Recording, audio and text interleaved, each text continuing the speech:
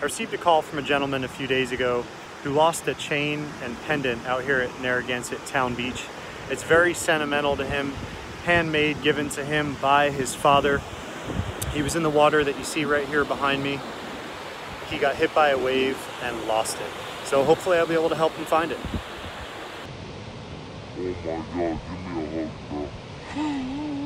no, no, no. I'm serious. Are you kidding me?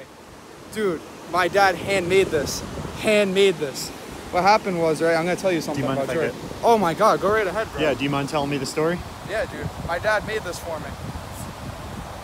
What are the symbols, uh, these symbols on Alright, so check this out. Now, I like to drive around a lot and I like going all over the place all the time. Yeah. Okay? So St. Christopher is a patriarch chain of travel, patriarch saint of travel. Yeah, yeah. Okay, so guess what? So my dad also knows I'm a mechanic, right? Like on the shirt.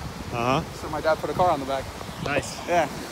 That's dope, huh? Well, you got the you got the pendant back? Yeah. Dude, Awesome. that is so cool.